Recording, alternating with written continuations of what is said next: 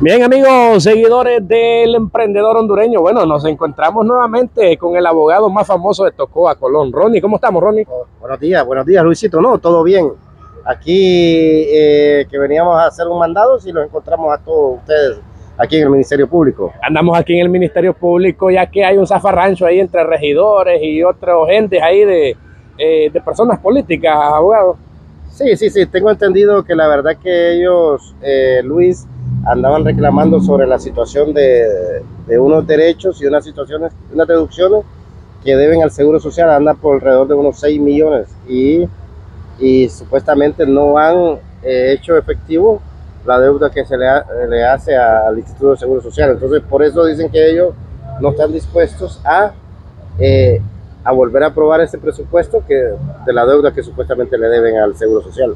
Así es, bueno, Ronnie, como buen conocedor sobre los temas legales, términos de, de, esta índole, ya está acostumbrado, Ronnie, a ver todo este tipo de casos. Sí, estoy acostumbrado. Básicamente la situación es mediática, Luisito, solamente es meramente política porque eh, te vengo a decir que la semana pasada estuvo la ATI por acá y en aquel momento, ¿por qué no lo hicieron la semana pasada? Que debieron de hacerlo. Aquí estuvo la ATI y debieron hacer la denuncia correspondiente. Hoy estamos de vacaciones, el Ministerio Público entra hasta el el 20 de agosto. Hasta el 20 de julio entra nuevamente, vuelve a trabajar y ahorita estamos de vacaciones. ¿Por qué no lo hicieron una semana antes para denunciar a la ATI? Y meramente solamente solo son eh, shock políticos, le puedo llamar. Así es correcto. Bueno, Ronnie Rodríguez, catapultado, el abogado del pueblo. Eh, hay otros temas ahí entre personajes, pero como tú dices, todo es mediático, los personajes eh, algunos se levantan falso y todo eso. Ronnie, ¿cómo miras esa situación?